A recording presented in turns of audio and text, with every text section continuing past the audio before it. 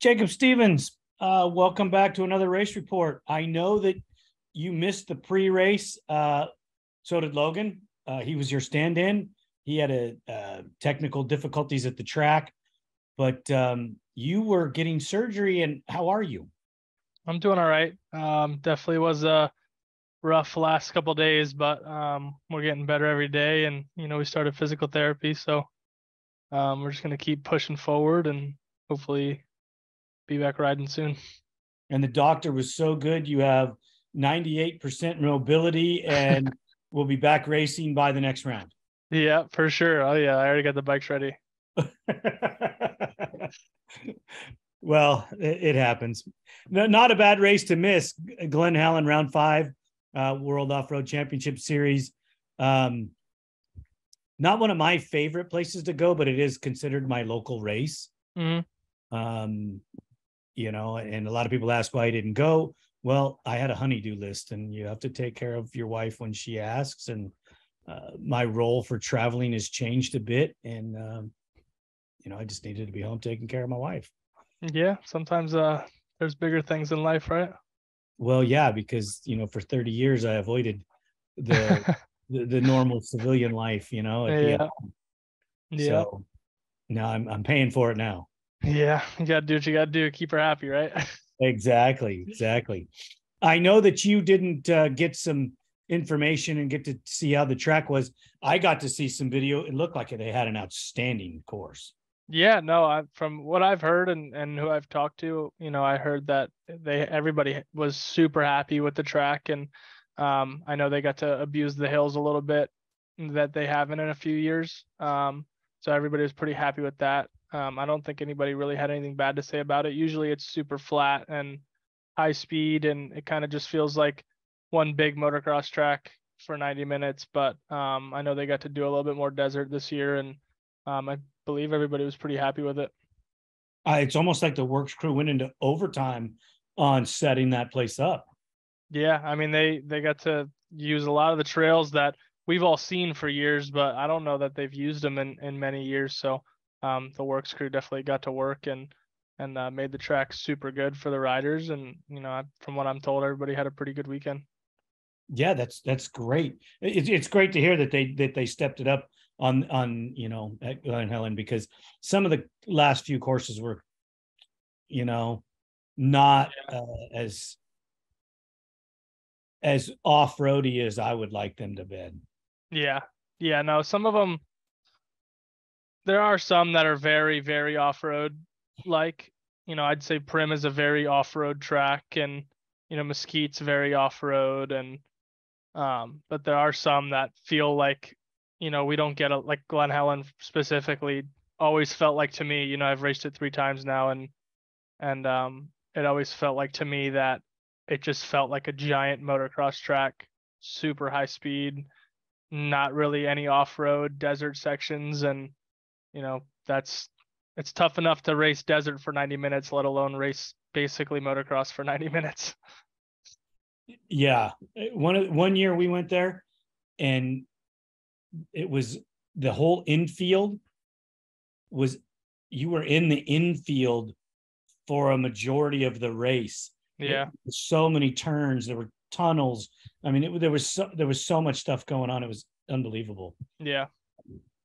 Wasn't my favorite race because I was riding a 660 Raptor and the, the tight technical course did not help me at all. Yeah. No, yeah, it's it's definitely come down a little bit over the years. I feel like back in the day it was a lot more uh, desert, you know, racing, but um, you know, they do what they they do with the tracks. They do what they're allowed to do with the tracks and you know, we just we're just showing up to race. Well, it was nice and green. You know, the, yeah. the scenery was awesome. Yeah. You know, I mean, we're talking about stuff that people probably really don't care about, but the photos, I, I saw a picture of Logan Huff and you know, there's yellow flowers and I think some purple and uh, some other colored stuff on the side of the trail. And I'm just like, this doesn't look like a WORCS race photo. Looks know, like they're back east racing the GNCC. Yeah, yeah. Usually it's brown. I mean, yeah. come on, this is awesome. Yeah. But uh, that's great that they had a good turnout, and I guess the weather was pretty good too. Yeah, my parents said it was a little chilly. Um, on the first couple of days, but I feel like Sunday was a pretty good day. I think it was pretty warm for the riders. Well, that that being said, uh, how did your dad and mom say the turnout was? Uh, they did great. Um, it was the triple header, you know, side by side, squads and dirt bikes. So, um, you know, they did great. You know, there was a ton of people there, and you know, when you mix all three series together, there's, you know, it's always a pretty pretty big turnout. Oh yeah, that's awesome. You, you know, in the in the women's pro class, you know, Torey's kept it perfect so far through round five. Um, Layne got on the box with her, yeah, and uh, so did Heidi. Yeah, um, you know, they're mixing it up pretty good. I mean, I don't know a lot of specifics about that race other than that, you know, Torey's they finished. Yeah, I know uh um Torey, you know, she's undefeated this year and um, you know, I know the girls behind her are working hard, but um I know uh, Dakota Hibbler had a good battle with Heidi Colman, you know, for the whole race and Heidi ended up getting around her towards the end. I'm not sure exactly, you know, what had happened or if if you know, she just was the faster girl that day, but um Heidi got on the the podium and um, I heard Layne rode really well to get you know second, and um, you know those girls got their work cut out for them if they're gonna you know try to give Torey a run for their money. Exactly, exactly. I mean, they better step it up. You know, yeah, she's getting away from them. Mm-hmm. Uh, I checked. Uh, I checked out some of the uh, the uh, Open A and the Production A classes. You know, Cole Fryer and Gage are having a pretty good battle in yep uh, production A, but they're also having a pretty good battle in pro am. Pro am, well. yeah. Mm-hmm. Yeah, no, pro am I heard was a really good race. I know Cole didn't get the greatest of starts. Um, he ended up working his way to the front. Um, I think Wyatt Rock pulled the hole shot, and uh, something must have happened to him. I don't know if he broke or or got stuck or crashed or something like that. But um, I know he led, you know, I think half the race, and then um, you know he finished two laps down off the off the leader, but you know Cole got in front and you know led the rest of the race. Uh, Gage Leaver, he started, um, I think like ninth or tenth. Um, he worked his way all the way to second, so he had a really good race. I'd I'd like to see what those those two can do. You know, both of them getting a good start and you know battling the whole race and seeing how that turns out. Yeah, I think that would be great. Uh, they get to race head to head in the in both classes. Yeah, you know, the production A. Yeah. The open the open A class, you know what? I checked it out, and I'm for some reason um, I can't. Uh, in in pro am, Gage is first, Cole is second, and Layne is third. Yeah. You know, yeah, that's so pretty crazy. Gage, Cole, and, and Layne are, are top three in points. I think I have Open A on here somewhere. No, I don't. I was just looking at it and why I can't remember. Uh, I think Rock won that. Um, um, I think he did too, actually. But he hasn't reached enough of them in that class to be uh, that far up in the point standings. I think it was him and, and Joshua Jackson that were in Open A, if I stand corrected. Yeah, it was him and Joshua that raced uh, Open A. I think they had a pretty good race from what I heard as well. Right. And and isn't Joshua on the podium in the podium? Yeah. Yeah. He got well, he got on the podium at at this past race in Pro Am. Um, I know he had a pretty good race. He st- I think he started well and just kind of rode his a good pace and and finished, you know, on the box. That's freaking awesome. I like to see the depth they have there. You know, it looks the the pro am class looks like a, a variety of people are wa- uh, riding it, yeah. and then they have pretty consistent amount of people racing at every race. Yeah. So, um, you also had some guys come up from Mexico and race it, which was which is really yeah. good. Well, yeah, and the pro class, there's a lot of people that signed up for the pro class at this race as well. I think they had like 11 or 12 people racing. That's great. Yeah. Well, Austin Baxter got on the podium. Yeah. Check yeah, he rode a rode a really consistent race. Um, I didn't get to talk to him, but uh, I know uh, Braxton broke early in the moto, I think around lap two, he blew blew a motor, and you know he ended up pushing his bike back to the pits. And um, I know they swapped a motor, but I know they didn't get him out in time for him to get um, at least halfway or laps made. Um, so he ended up getting getting no points, which is really gonna throw a wrench in in his season here. He's gonna have to you know crack down and really focus on finishing these races and, and getting good results. Um, but you know, hats off for him for pulling a motor in the pits and going back out. He didn't have no seat. He didn't have no rear plastics. Um, I think they just threw the tank back on and and he he went out. Um, it was such a big point swing. He went from second in points, not too far behind Beau, to he's 30 points behind Beau eh, or more, and he's 15 points behind Damon, and Yeah. Damon's uh 17 or 18 behind Beau, Yeah. you know, and um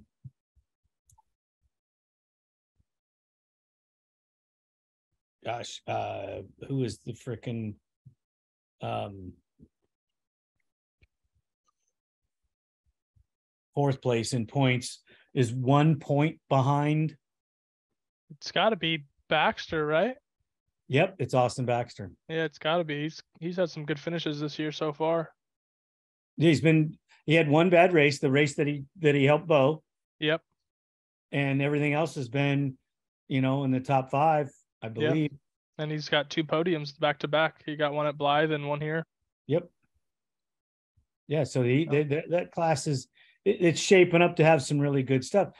You know, I don't know how close Travis was to Beau, but Beau Oh, got in front. I early. heard, yeah, Beau got out front early. I know Travis didn't get the best of starts, but I know he got into second relatively fast. And um, from you know what I heard, they they battled it out for a majority of the race. I think Travis is he's really he's getting closer. I think. Um, I think Beau still has that, you know, end of the moto sprint.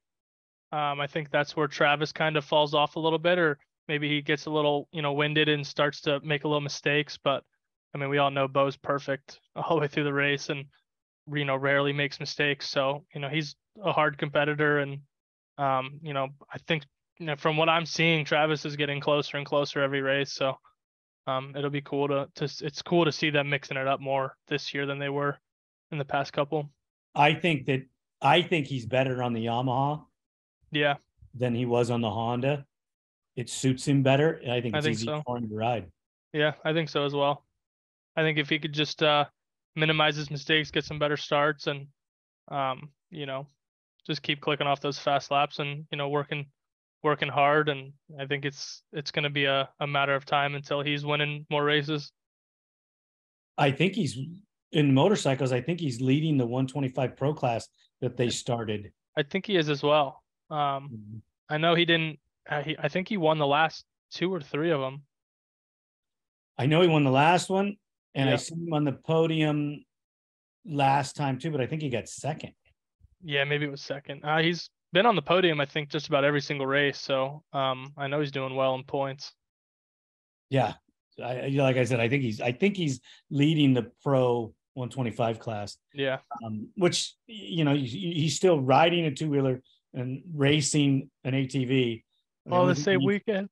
Yeah, all you need to do is get a UTV and it'd be like, whoa, Be like a triple sport. Yeah, you know, yeah, I mean, a triathlete. yeah, that's the one thing I didn't see. Did Beau make it on the podium in the UTV class? Oh, I'm not sure. I didn't see anything about it. I just saw the quad stuff. Yeah, I didn't see. Well, usually I see a, a photo of it. Yeah, I didn't see. It's crazy because when they do all the when they do all the races in one weekend, you know, they do so many WORCS racing posts that you know you're bound to miss a few. Um, I know they. I mean, they post every single, you know, pro or pro am class on dirt bikes, and then all the quad classes, and then all the UTV classes. So I know I didn't get to see every post, um, but I didn't see any side by side posts. Yeah, I didn't find out who won until late Sunday evening. For some reason, Yeah. they didn't post the quad Oh yeah, photo. yeah. I, I knew pretty quickly after the race on Sunday. My dad called me right away and kind of gave me the rundown of the pro race. Yeah, well, I can never get your dad to call me, so which is I surprising because he's I'm always not on the his phone. kid. I'm not a kid. That's you know what he expects, right? Yeah, he did call me immediately after I got out of surgery, which they were on their way home for already. So Oh, they came home. they came home Sunday. Well, I I guess I did surgery Friday. Never mind. They called me Sunday as soon as they left the track, probably just to check in on me, make sure I was good. Right. Was there anybody taking care of you? Uh, yeah, my brother's mom. She's luckily a nurse, so she stayed with me the first two nights. Nice. Um, it felt like I was staying at the hospital still, so that was good. well, at least you had somebody that has had somebody there. Uh, were you, I know you text me afterwards, yeah. and I was thinking, Jacob, you know that's great that you text me, buddy, but aren't you supposed to be resting? Yeah, I tried to let everybody know when I got out of surgery that I was good and you know everything went well. Um, I figured you'd be a little loopy. I was loopy, but I figured I might as well get my texts out as soon as possible. I know Paul was freaking, and you know my parents were freaking, and you know, so I just wanted to to send everybody a you know I'm good text before Well, I went home aw- and slept. That's awesome that that you got that taken care of like that. You know, round six um is going to be where for WORCS. Cedar City. I don't. I've been there, but I hate it, to be completely honest with you. yeah, But um, I mean, it's a good track. It's very, very tight.